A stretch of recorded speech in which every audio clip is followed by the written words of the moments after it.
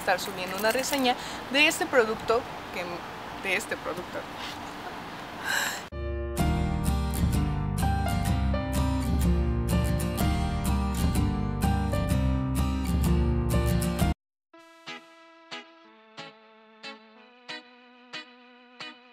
Hola preciosos, ¿cómo están? Espero que estén de lo mejor. Yo soy Angélica y el día de hoy vamos a hacer una camita para nuestras mascotas. Vas a ver que está súper lindo, es tan tierno. Como les dije en las redes sociales, principalmente en Facebook y en Instagram, les comenté que íbamos a empezar con los DIY para mascotas. Lo que vamos a ocupar es una reja. La puedes conseguir en el centro o en el mercado, donde venden cosas de verdura y cosas así por el estilo. Solamente se la pides al señor, a la señorita, y así te la quieren regalar o te la quieren vender, y vas a ver que la vas a encontrar súper fácil. Espero que les guste mucho y pues vamos a ver el video. Para esto vamos a necesitar una reja, tela o ropa vieja, que de preferencia sea la más viejita porque si no aún la podemos regalar a alguien que la necesite. Pintura, barniz, martillo, brocha y como soy un poquito especial, también conseguí una lija. Lo primero que vamos a hacer es quitar dos tablitas de nuestra reja con la ayuda del martillo, de esta manera. La verdad que es súper fácil quitarlo, nada más que hay que tener un poco de cuidado para que no la vayamos a romper. Por lo menos sí debemos conservar una tablita porque la vamos a volver a ocupar.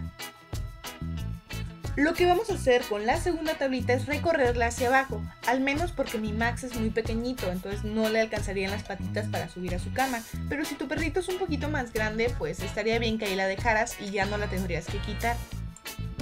Entonces la quitamos con mucho cuidado y la volvemos a poner un poquito más abajo de donde estaba. Lo siguiente que hice fue lijar la reja, pero puedes brincarte este paso siempre y cuando tu reja pues esté muy bien y no tenga esos pequeños pedacitos de madera. Lo que pasa es que podría tu perrito o tu gatito astillarse y eso no queremos. Lo siguiente que vamos a hacer es barnizar nuestra reja, eso es súper sencillo como si la pintáramos. Tómate tu tiempo, ponle las capitas que sean necesarias y vas a ver que va a quedar súper divino. Vamos a pintar también la parte de adentro, excepto la de en medio, porque en un momento más la vamos a tapar. Una vez pintado, lo vamos a dejar secar. Y ahora sí, preparemos la parte de adentro. Por esta ocasión yo tenía dos cojincitos que ya estaban bastante viejos, bastante deslavados, entonces decidí meterle la ropa ahí.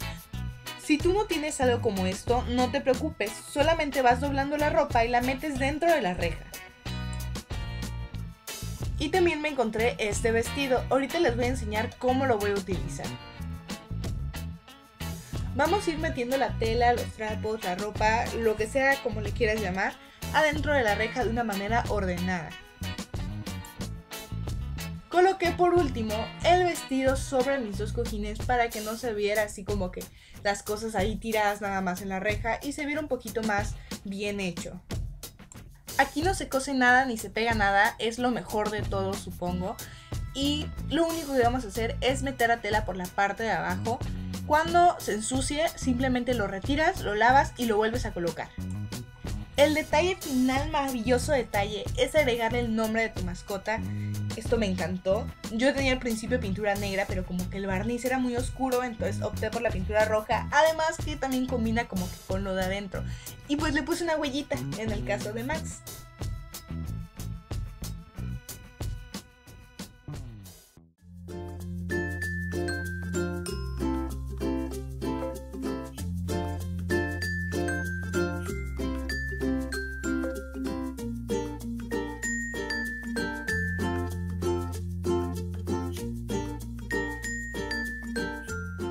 En serio que lo tienen que intentar porque seguramente su mascotita se los va a agradecer demasiado. Mi Max es como que esta cama es mía y para nada la suelta. Aprovecho este momento para mandar saludos a aquellos que me lo estuvieron pidiendo durante un tiempo y además a aquellos que me han mandado fotos de cosas que han hecho.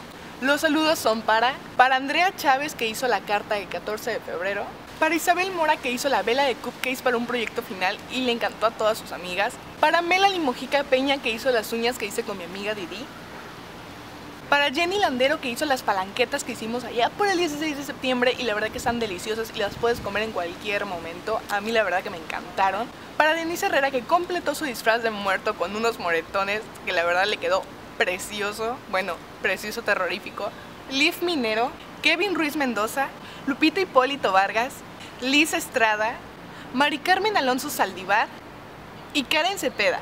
Si haces algo de lo que yo te he enseñado, puedes mandarme la foto a través de mis redes sociales. Tenemos Facebook, Twitter, Instagram y también tenemos blog donde próximamente les estaré subiendo la reseña de este producto que la verdad que está buenísimo. Ya les contaré más cómo me lo aplico, qué calificación les doy y todo eso a través del blog, así que no dejes de visitarme a través del blog.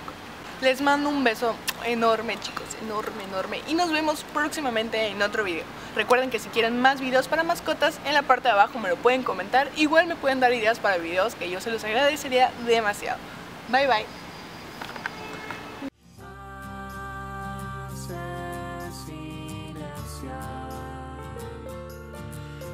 cabeza y ya no sabes.